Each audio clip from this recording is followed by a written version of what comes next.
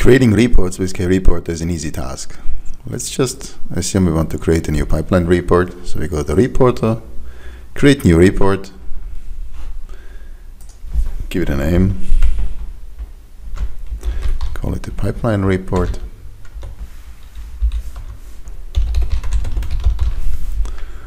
You pick the module you want to report from, in our case opportunities. Let's pick some fields like the opportunity name,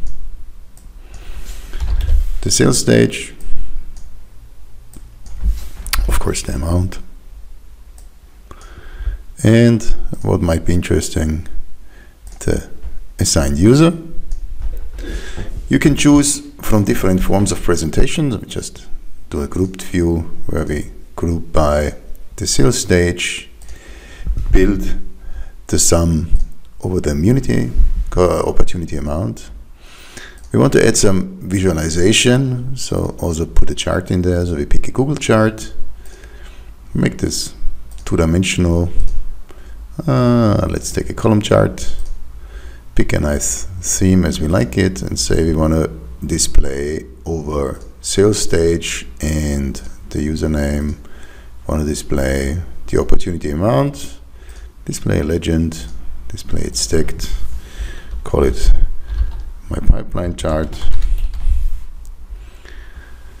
You have different ways of integrating. Let's add an option to export to Excel. Let's allow the users to use it, the chart on the home screen. So simply save the report So with just a couple of clicks, we created a nice opportunity report where we see our pipeline group by sales stage. We can easily, for example, regroup by username. We can export to Excel. And as stated, we can also just simply go to our home screen, say we want to add a dashlet, take a visualization dashlet, that's added.